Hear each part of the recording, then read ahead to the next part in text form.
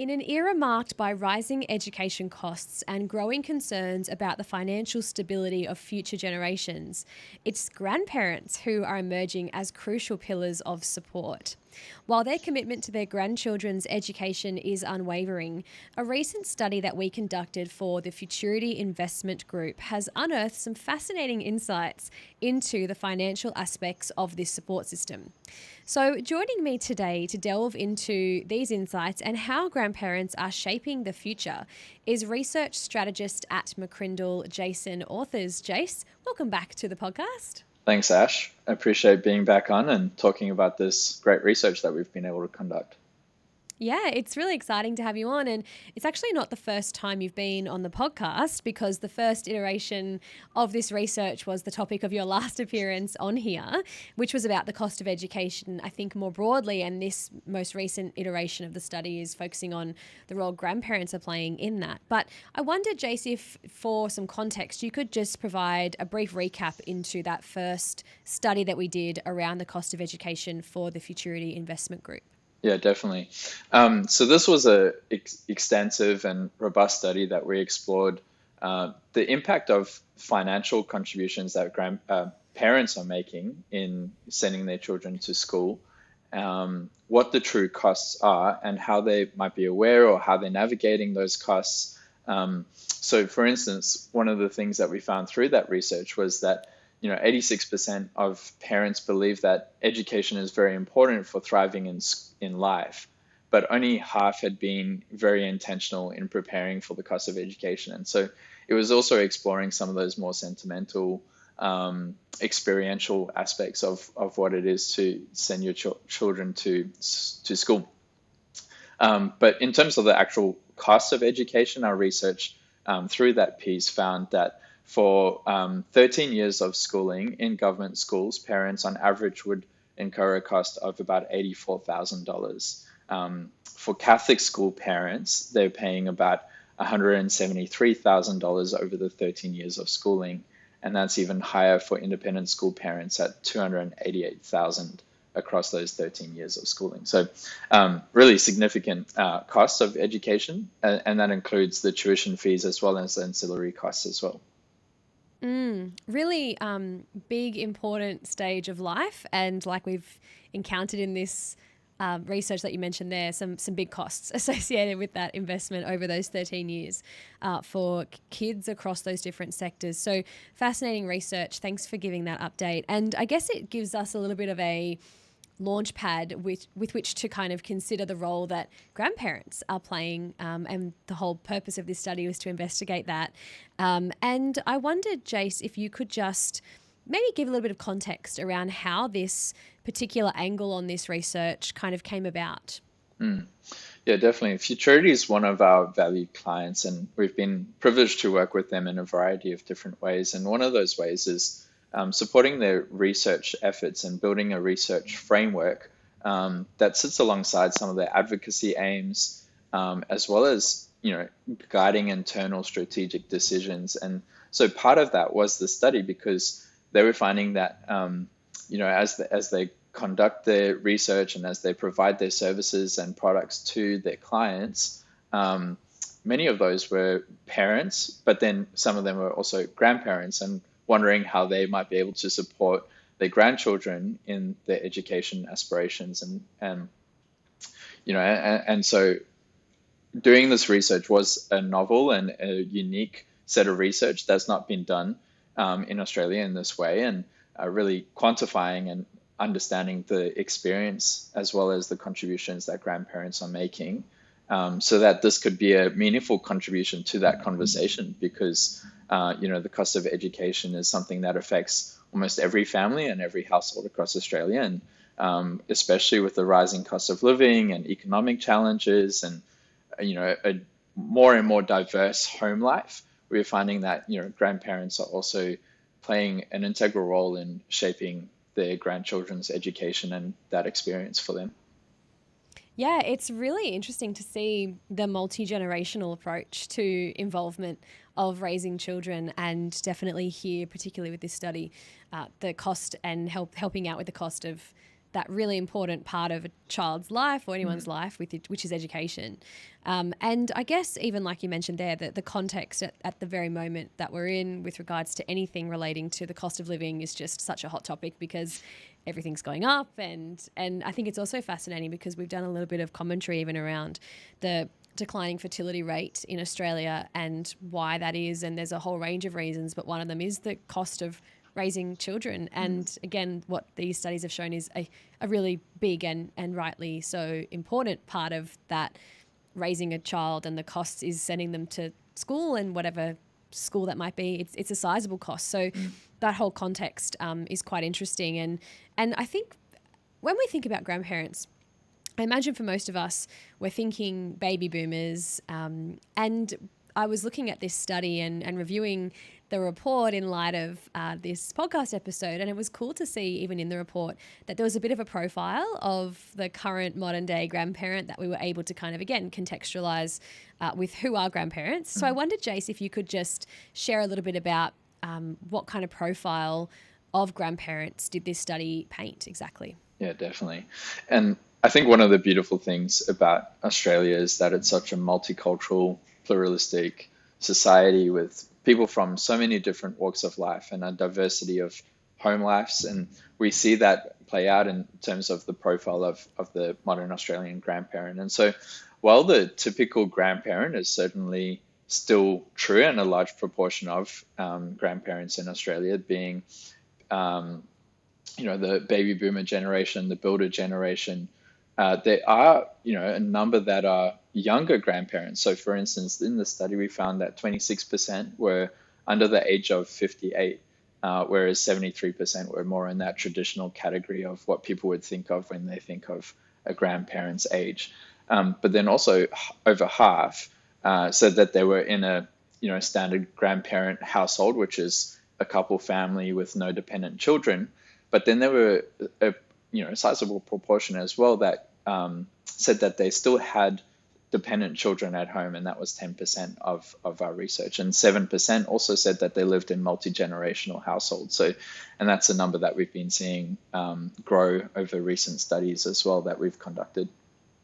Yeah, it's fascinating to see how diverse grandparents are. You've got, of course, a mix of some who are um, on the older side, and then, like you said, um, one in four who are 58 years um, or younger, even than that, who might have um, either had children themselves earlier in life or their own children have chosen to have kids earlier in life. So, a definitely um, a diverse picture of um, this generation of grandparents. And Jace, what did the research find? What did you find interesting? What stood out to you in terms of how engaged this generation of grandparents are when it comes to their grandchildren's education? Yeah, one of the questions that we asked them is what is most important to you at this stage of life? And, you know, I think a lot of people would think of uh, maybe the, gro- the grey nomads and they've retired, they've got this opportunity, they've got the funds to travel and enjoy their life. And rightly so, I think that's a great aspect of that stage of life for many people. Um, but I think what was really encouraging was the number one thing that grandparents said it was most important to them was spending time with their grandchildren at 79%. And that's followed by focusing on their own mental health and physical health at 77%. Um, you know, and so that really just paints a picture that grandparents are really invested in their grandchildren's lives and their family life as well. Um, and they're also invested in their own well-being and and that's a really positive thing to see. Yeah absolutely. It's amazing that the time with their grandchildren um, is even more important to them than like their own health. Mm, for many people mm. for more grandparents their grandchildren are more important than their health. Even though health is up there like you said and, it, and it's important at that life stage as well of course to be thinking about that. But a, a very um, selfless generation of mm, grandparents it seems that are coming through um, which is really cool. And i'd be keen as well jace for you to share just about you know, we see that grandparents are invested in their grandchildren, invested in their education.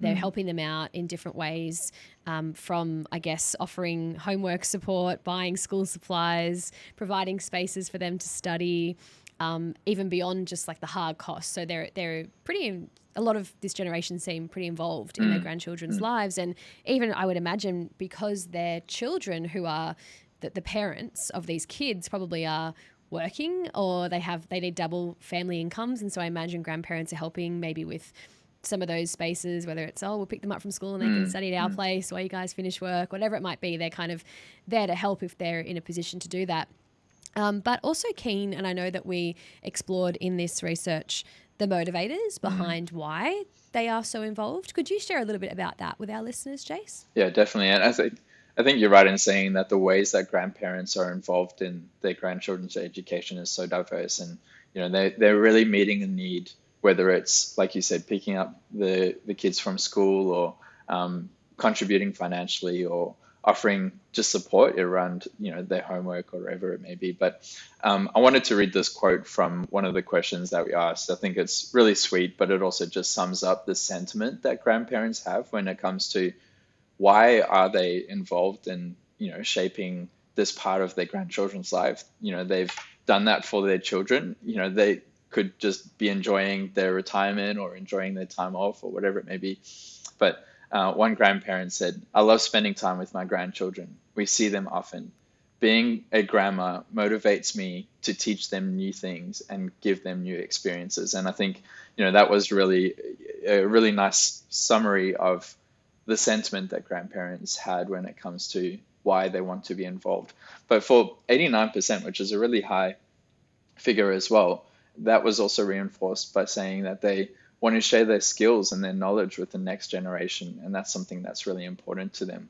Some of the other things that they mentioned that were important uh, motivators was the personal enjoyment they receive just from supporting and being involved in the life of their grandchildren and their education uh, helping them with their education also helps them feel more connected. Uh, they also want their grandchildren to be successful in life. Um, and for many grandparents, they simply have the time. And so it's an opportunity to um, contribute in that way and, and make that meaningful uh, effort to guide their, ch- their grandchildren and support their children, the parents of those grandchildren, um, in their education. Yeah, it's it sounds like it would be I imagine, such a blessing to the grandchildren themselves to be able to spend more time with grandparents to maybe, as we said before, give some extra time to the parents mm, themselves, mm. whether that's when they're at work or having a break, whatever it might be, um, and they've got the desire there and the time and that life stage. Maybe if they have moved into a bit more of a retirement life stage mm. or part time working, whatever it might be. So, really, grandparents, well done, stepping up. 20 grandparents listening. Um, it's really great to see um, some of these uh, I guess, sentiments that we would hypothesize about, but actually seeing the, the real data and the mm. stories mm. and the quotes, like you mentioned, come out through the research is, is quite powerful. Mm. Um, I guess it. The next question I have is really like we've explored so far about who they are and um, why they would be contributing, but I imagine for a lot of people, it's also kind of how is this generation of grandparents contributing to their children's education? And we mentioned a couple of those different ways before, but I wondered, Jace, if you could just elaborate um, on exactly how this generation of grandparents is contributing when it comes to their grandchildren's education. Mm. Well, aside from the overall and practical support that grandparents are giving, um, like we've mentioned, Many are also providing financial support, and that figure comes to about a third at 29%.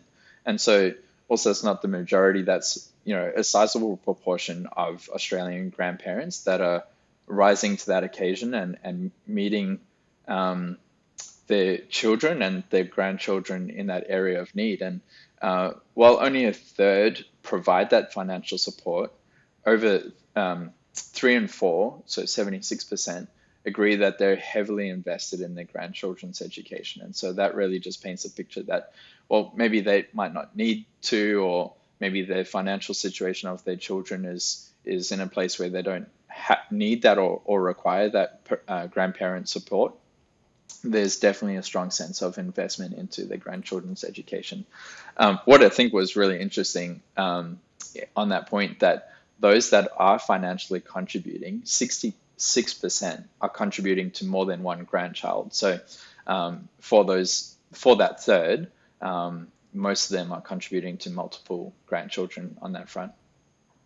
Yeah, it's amazing um, to see them stepping up in that way and um, really, like you said, that for that third, and like like you mentioned, it's not the majority, but mm. still a sizable proportion mm. of grandparents who are um, not just giving support through time or um, you know emotional support or encouragement, but they're giving hard-earned money from their working lives mm. to help their put their grandkids uh, through an education that I guess they believe in and that they mm. want to see fruit from. So um, yeah, really amazing. Takes kind of gives a new whole new meaning to Grandparents' Day uh, at school for many of them being so involved.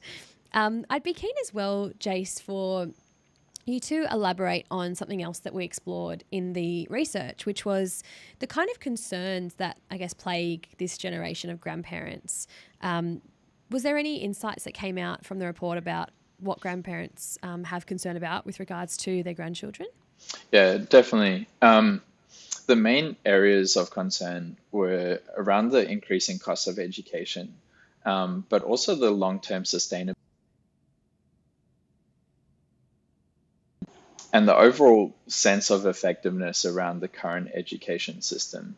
Um, so there was definitely the sense of uh, uncertainty about where the cost of education is going and how long and how sustainable um, they can continue to make those contributions.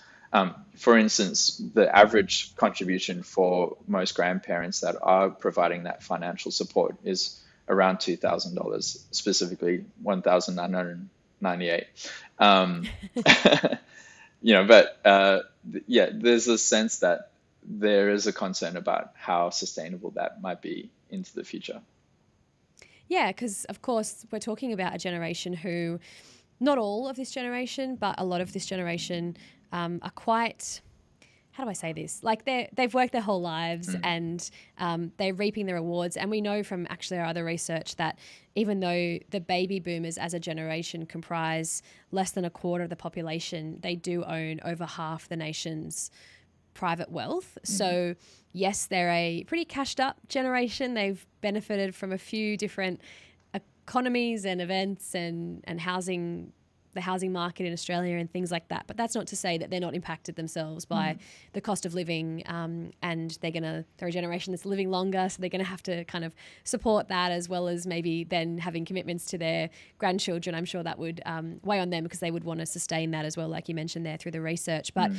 with regards to this wealth that this generation does have, um, I was t- actually only speaking to a journalist recently about this, where we were talking about the baby boomers and particularly and how yeah that exact component that they do own so much of the nation's wealth and you the inverse of that is you know their millennial children who are the parents in this kind of scenario that we're talking about the parents of of the alphas or the young kids who are at school who are needing that support uh, mm. uh, the millennials have for a long time kind of been um, talked about with regards to locked out of the property market and I guess an economy that's kind of a bit more suited to the baby boomers as a generation. Mm. And so I was talking to this journalist recently about about all of this, and he was like, "Yeah, but there's a lot of wealth within their their parents' generation in terms of the millennial parents who we're talking about here." As this generation of grandparents. Mm. And there uh, will come a time where that wealth hopefully is is transferred. And I guess in some ways we're starting to see that even with regards to them helping out their grandkids with education, they could just put that in a trust and, and save it for when the time comes that it fully gets transferred. But they're also be able, able to see the impacts of that now, mm. um, which is cool. But that great wealth transfer of this amazing generation in the boomers is something we do um, talk about a lot, and it's a really interesting component of the intergenerational communities we have and and wealth and accumulation and finances in this current economy. So I'd be keen with all of that as context, Jace, um, regarding the future and the research, if it uncovered any findings about this future wealth transfer from grandparents and plans they might have to pass that on to their children or even their grandchildren. Yeah, and that was definitely an, an intent around this research was to um, understand there is this expected wealth transfer. The baby boomers have this proportion of wealth maybe tied up in assets or whatever it may be or inheritance. And what do they want to do with that? And is it going to the children and then to the grandchildren? Or in some cases is it going straight to the grandchildren? And um, why do they want to transfer that wealth? What are some of the reasons or what are some of the ways that they want their, their children and their grandchildren to be spending that money when they receive it whether it's present and whilst they're still um, alive and with their family, or if it's you know an inheritance that they receive when they pass on. So the most common motivator for transferring that wealth was um, setting them up for the future. And I think that's a really great sentiment that obviously makes sense that they want to um, provide them the foundation that they need to thrive in life. Um, for many of them, they also don't want them to lack financially. And if they have the means to do that, they want to provide the, the starting point for their grandchildren to enter adulthood, perhaps, and um, have the finances that they need. Um, but they also, for for many of them, just want to give back. I think you know there's this altruistic and um, values-driven sentiment that persists. That grandparents want to yes provide that sure footing and that good foundation. Um, they really just want to bless their their children and their grandchildren. Um, I think what's also really interesting on that front is a third of the grandparents that we surveyed intend to transfer at least 50% of their wealth directly to their grandchildren, um, which is really, really significant. Um, and so that paints a picture of, you know, a bit of a shared um, kind of inheritance between the children and then their grandchildren. Um, but for 10%, um, they intended to leave 100% of their wealth inheritance to their grandchildren directly, which was also a really interesting thing to note. Yeah, wow just skipping the the kids altogether and going straight to the grandkids for um, for that ten percent. Yeah. So wow, yeah. that's amazing.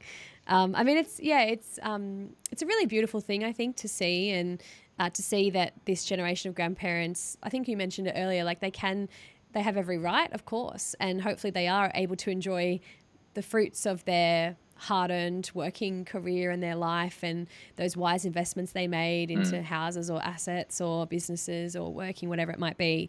But I guess how that enjoyment plays out um, is is different from from holidays and travel um, and little luxuries to then seeing the benefit and and helping mm. generations after them to come in something so significant as their education, which can set them up for their own ability to earn a living and find purpose and contribute in the workforce and all of those mm. great aspects of, of and out, outcomes, let alone friendships or relationships or, you know, all those beautiful things that education um, can do for a person and for a community. So it's amazing. Big, big shout out again uh, to all the grandparents who are listening who yeah. are, yeah, able to um, not just keep that wealth um, in reserve for their grandkids. In, in some cases, they would be, mm. but also to be able to help them in the current moment with regards to education and, and helping yeah. the parents, therefore, as well, and alleviate some of that burden too.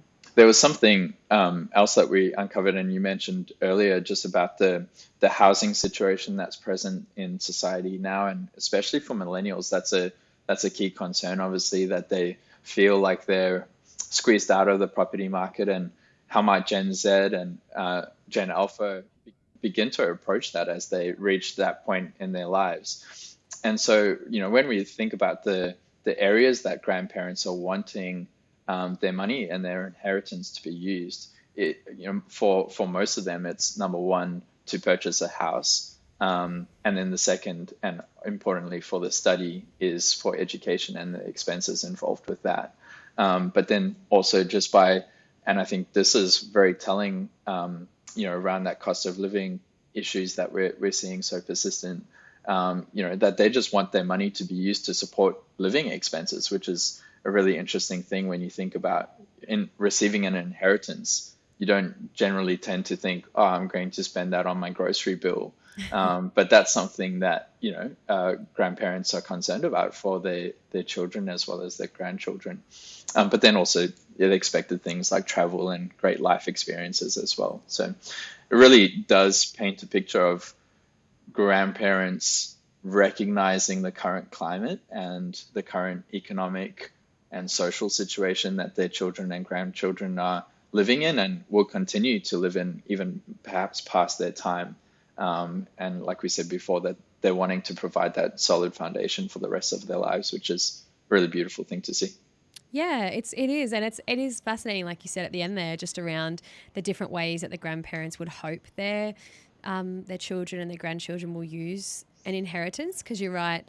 Uh, I, I, have spoken to people before who've received inheritances in their 20s, um, mm. and and it's interesting because obviously in that life stage, the value often is on experiences and um, travel and but then it's like if you receive an inheritance or a sum of money, it is a wise thing to invest that so that it yields a return over time. But again, that can be perceived in different contexts, like travel is an investment and memories mm. and experiences. Mm. But then, even here, of course, property, which has worked so well for these older generations of Australians, particularly, they would have made a lot of money, I imagine, if they were able to get into the property market a few decades ago and have seen those as- assets appreciate.